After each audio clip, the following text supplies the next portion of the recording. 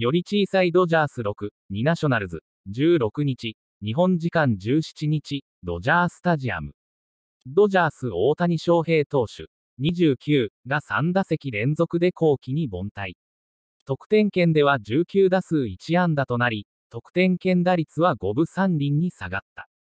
大谷は第2打席の1死2、3塁で2ゴロ、第3打席の2死1、3塁も2ゴロ、第4打席の虫2塁で中飛に倒れ、いずれも初球を凡打した。カウント別打率の観点から、大谷は、初球に無類の強さを誇ってきた。試合前時点でカウント0-0からの打率は、10打数6安打の6割、1本塁打3打点。この数字はチームメイトで、MVP 獲得経験のあるベッツ、4割4分4厘、フリーマン、2割5分、大きく上回る数値だった。この日、アベマで解説を務めた元ヤクルト監督の真中光氏、53は、早いカウントから打ちに行って結果が出なかった。